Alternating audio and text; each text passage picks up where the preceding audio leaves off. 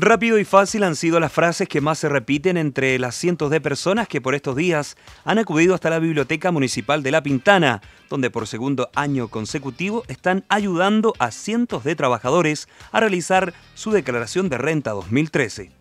Iniciativa sin costo alguno que está diseñada para las personas que por tiempo o por no tener acceso a Internet en su hogar o trabajo no han realizado su declaración, proceso que recordemos comenzó el primero de abril y se extenderá hasta el próximo 9 de mayo.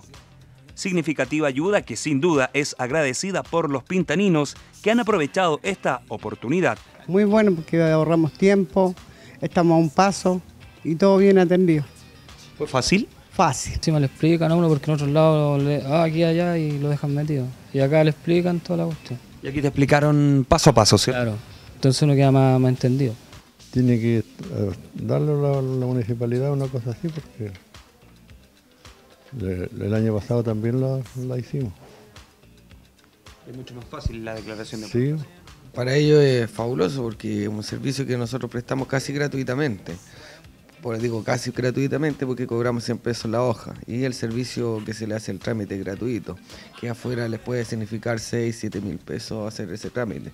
Cabe destacar que las personas que deben cumplir con esta obligación legal son quienes perciban honorarios por actividades independientes y o rentas por boletas de honorario, boletas de prestación de servicios de tercero y o por participaciones en rentas de sociedades de profesionales.